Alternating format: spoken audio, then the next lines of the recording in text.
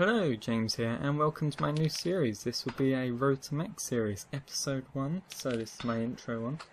And I am mining a star here, and in each video there will be regular but small videos, and uh, I will go over what I've been up to lately, trying to get to the Max Cape. That's Almighty Max Cape where you have 99 in all skills. So just going over my stats here, we got mining, smithing, agility, thieving, herblore, crafting, defense, range, construction, and slayer. Left to get to 99. It's a bit of a late start to create a Road to Max series, considering I've only got a few 99s left. Well, a few. Agility will be a pain. So, uh, the mining, the smithing, the defense range, herblore, they will be easy to get to 99. The thieving and the construction may take a while, the agility will definitely take a while and probably kill me.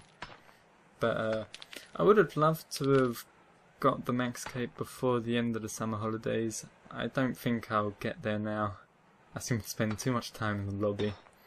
But uh, trying to do my best. I know that new skill will set me back, but without pretend that the new skill wouldn't come out, then I'd have liked to have got the max cape by the end of the summer holidays then, not including it. But anyway, that's uh, episode 1 for you. I shall have more episodes to come, so see you then.